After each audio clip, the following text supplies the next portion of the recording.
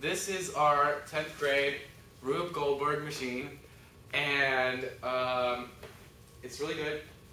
I worked on it, and Tells and Hunter, and Brianna.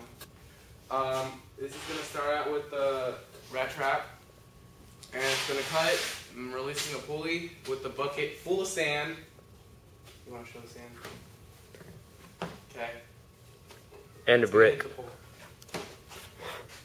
Okay. Okay, and then it's gonna make a marble go down this tube in the funnel, which is the Screw. the screw, and it's gonna go down here, go down a tube, and then it's gonna go down there, hit the dominoes and the CDs, which is going to pull the marble down and make it hit go down, We're just gonna release these into our surprise, our, and then this ball is gonna fall down this incline right here.